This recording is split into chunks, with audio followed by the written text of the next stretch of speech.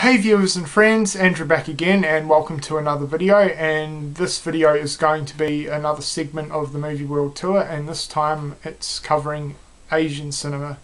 Now I was contemplating whether to do this video or not because I only actually own uh, five movies from Asia in my collection and out of those five I've only seen two of them so far.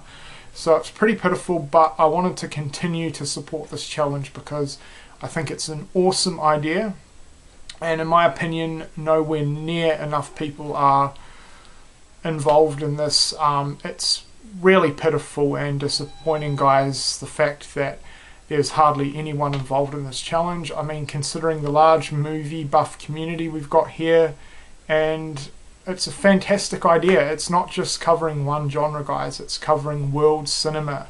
And honestly, there's no excuse not to get involved. I mean, I know people are busy and all that, but honestly, can't you spare five to ten minutes to shoot a video and then you can upload it while you're doing other stuff? I mean, it's really not that hard, but really disappointing um, that more people aren't involved in this. But anyway, so I wanted to continue on with this challenge, even though I've only got five video movies to show. So let's get into it.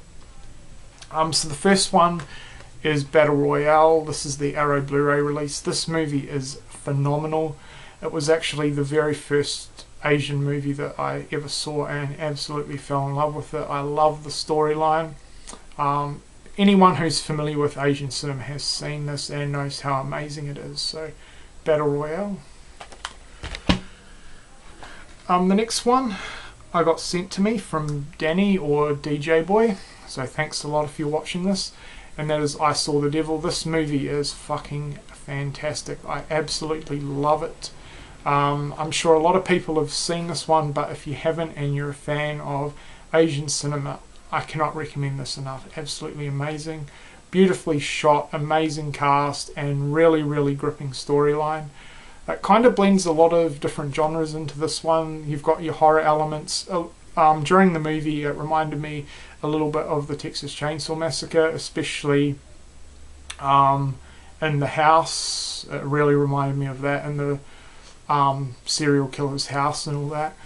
And then you've got the revenge aspect. Um, so the storyline behind this one is it's about a um, high up professional businessman who's seeking revenge over his wife's murder. Um, his wife got murdered by a serial killer, so he tracks him down and he catches up with him numerous times throughout the movie, pretty much tortures him, beats him up, and then backs off. Um, yeah, really, really good. Um, absolutely brutal. So um, I thought it was fantastic. So I saw The Devil. And then the next three I have not actually seen yet.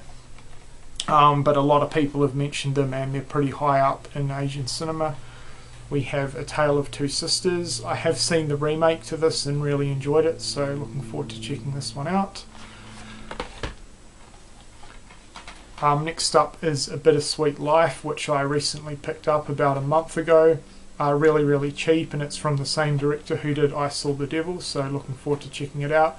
I've had a discussion with uh, Luke about this movie, and he said it's really, really good. Then the last one is Audition.